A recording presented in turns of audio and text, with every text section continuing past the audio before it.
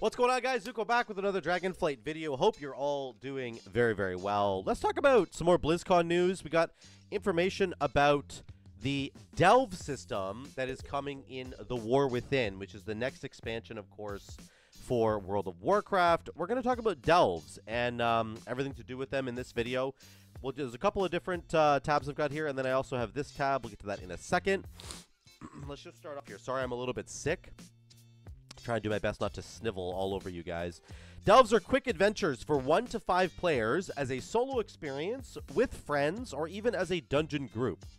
These adventures are integrated into the outdoor realm as a new endgame pillar alongside dungeons, raids, and PvP. This is really important. So, they are intending for this to become an evergreen, permanent feature in World of Warcraft, at least for the next like three expansions or so. Um, this is going to be your sort of pinnacle outdoor world content. Okay, so for dungeons, it's like heroic dungeons, flat mythic dungeons, and then mythic plus, and then you scale all the way up to plus 20s and higher, right? This is like you do outdoor world events or, or world quests, and then like world events, you kill a world boss, and then there's delves as like the ultimate outdoor world experience. Designed to provide variety, flexibility, and replayability, there are 12 delves available at launch that take place throughout Khaz Algar and in various environments. So there's also a 13th delve that Morgan Day spoiled. It's like a secret one that we'll have to go find, just so you know. Here's just the facts 10 to 15 minute adventures. Players will unravel the mysteries and seek out treasures throughout Khaz Algar. New seasonal rewards with a narrative tie in and NPC companion. So, this is a screenshot of what a delve looks like from the outside. From what we understand, These are supposed to be just integrated into the open world as best as they possibly can be. So it's kind of just like there's a cave that you go into, and there's kind of like a foggy door here. They, I think, I remember Ian saying that they don't, these are not intended to be instance activities. What I think is going to end up happening, um, Sorry, they're not instance like dungeons and raids are, where you walk through a door and there's a loading screen. They don't want there to be any loading screens at all. You just walk through this like foggy door, and you end up um, being right into the delve itself. You, you start the adventure. Okay, so what I think is going to end up happening is that you're going to walk through this kind of door, and you're going to go into a different shard.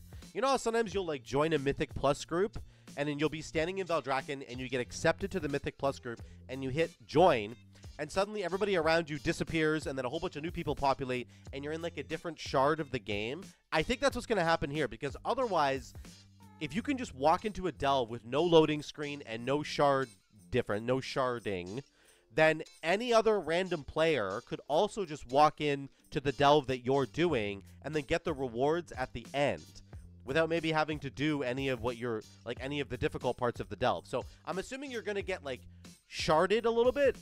Stop saying that word now, but so that you're kind of in your own instance, but there's no loading screen. I think that's what we're looking at here. Okay.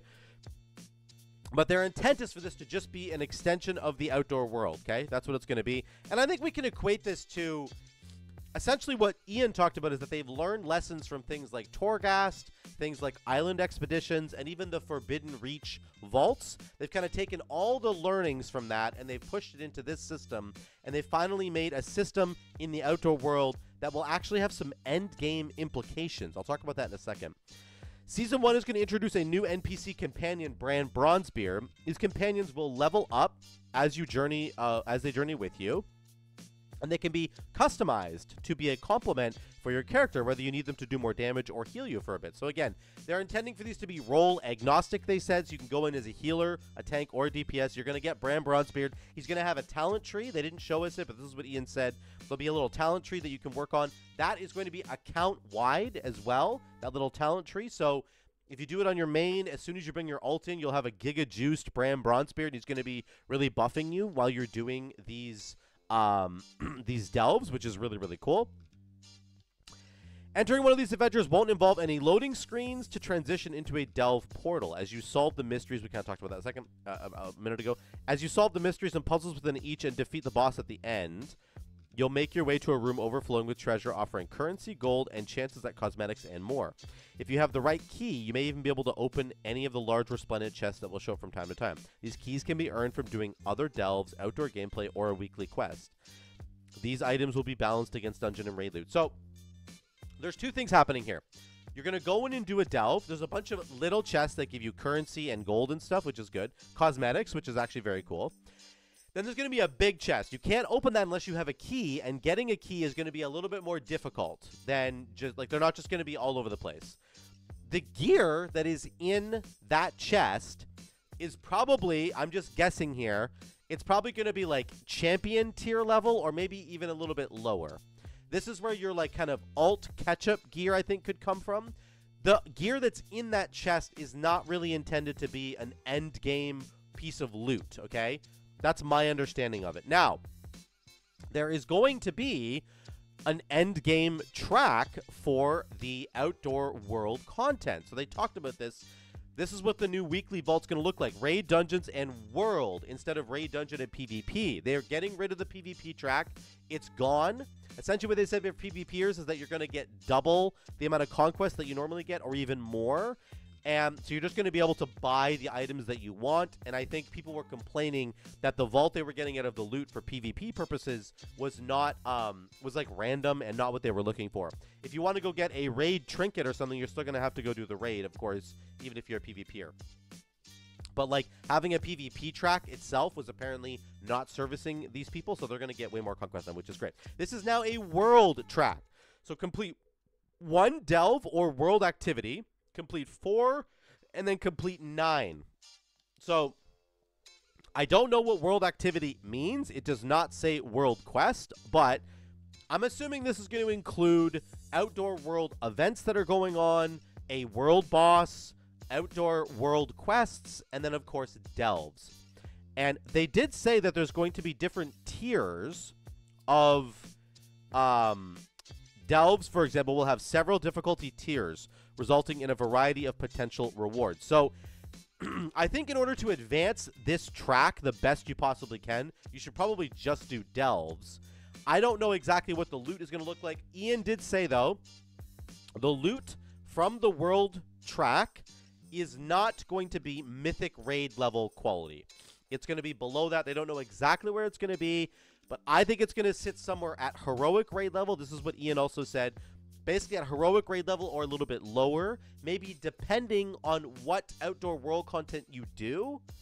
I'm not really entirely sure, right? Because if you're doing Mythic Plus and you only do a Mythic Plus 10, it's going to give you a, a, a, reward at Mythic plus 10. If you do a Mythic plus 16, like this guy did, it's going to give you a better reward. So I'm assuming on the world track, if you're completing delves, that will be like the best. That would be like a Mythic plus 16 versus doing a Mythic plus 10. You see what I'm saying? It's going to be like better. If you kill the world boss, I'm assuming that's going to be a lot, worth a lot. That might give you the best reward possible because it's perceived to be the most difficult level of content for the outdoor world, as opposed to just doing uh, a bunch of world quests, like a little tiny world quest. I mean, like, oh, I should get good rewards. It's like probably if you're just doing world quests, you're gonna get less rewards than if you're doing delves and the world boss. That's my that's my assumption. We have no idea about that. That's just what I'm thinking. Okay. For the first time, players who take part in outdoor world activities will be able to earn rewards from the Great Vault, whether it's from completing outdoor world, uh, sorry, outdoor objectives or by doing delves. Players will be able to unlock rewards based on level of difficulty. Rewards can be potentially reach the level of heroic raiding or close to mythic plus 15 dungeon range. So this is pretty good, and I think that, excuse me, I I think that there is. It's really important to, to sort of understand how good this is going to be potentially for the player base. Right now, my main character gets all three tracks on the raid and all three tracks on Mythic Plus when I'm starting a new season. As the season goes on and on, I don't necessarily get as much, but I'm getting six options on my main character. My alt characters never do the raid because I have to pug the raid, and I kind of hate doing that. I just never do the raid on my alt characters. I might have to start doing that, but I do Mythic Plus, but I don't always do a ton of Mythic Plus. And then I have that PvP track. So for my alt characters, I only ever get one or two reward possibilities, like period, versus my main who gets six, like every week. This, I think, for alt characters is going to open up another track where instead of me just getting one or two, I might also go into the open world and get another two of these. So I'll have four options instead of one or two, which I think is absolutely fantastic for my alts in terms of catching up on gear and then also having a really good gear option at the end of the week in the vault. I'm also very interested to see exactly what pieces of gear are going to be in the world track because there might be trinkets in here that are actually like really good. And if you have a trinket that's like 5 to 10 item levels below the rest of your gear, it's actually not the end of the world because trinkets don't give main stat, they don't give stamina, they just give usually a secondary stat. There might be a stamina trinket, of course, but they usually give a secondary stat and then they have a proc effect. And having that trinket be 10, maybe 12, maybe 15 item levels below the rest of your gear is not the end of the world if it's just one slot. If it has a really, really powerful effect that you really love, it might actually be worth farming it on the world tier, and it's okay that it's only going to end up ever being a mythic plus 15 dungeon range or a heroic raid piece, okay? Because the rest of your gear by the end of a of a season is going to be like that mythic level. This thing won't be, but that's okay. I think it's actually a perfect range for them to put this piece of gear into. Some cosmetic rewards looking pretty cool. You got mushroom hats and candles and all kinds of stuff. This thing looks really cool. Ian talked about this. Players who take part in delves will also be able to unlock a new customizable flying mount. So this is like getting your uh, doing the raid on heroic and getting a mount, or getting your KSM for Mythic Plus and getting a mount. This is the exact same thing.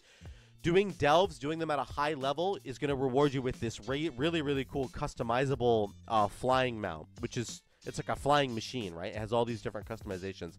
I love this. I think it's amazing. This is a great little addition to the game. So that's another thing to look forward to.